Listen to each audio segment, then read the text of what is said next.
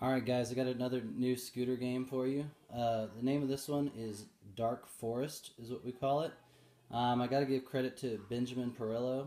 Um, follow him on YouTube. He's great for PE games. Uh, this is kind of one of his original ideas, but I, I kind of adapted it to our larger class size.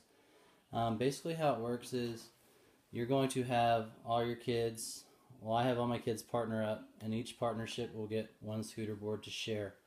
Um, throughout the gym, you'll set up a whole bunch of equipment. We have cones, we have polydots, and I use foam rings. We have a whole bunch of different colors of foam rings um, just around.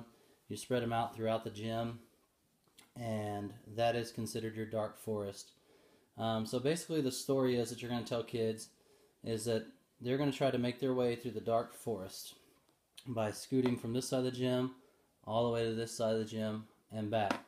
But in that dark forest, there are very thorny trees, which we call the we call the cones.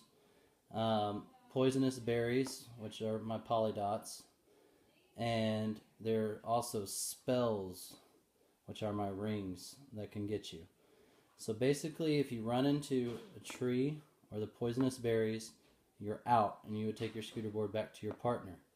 The spells are a little bit different. What you're going to do is you're going to pick two wizards. I pick two boys to be my wizards, and I pick two witches to be my girls. And I'll put a jersey on them or whatever. And uh, they'll be standing up, and they'll be inside the forest.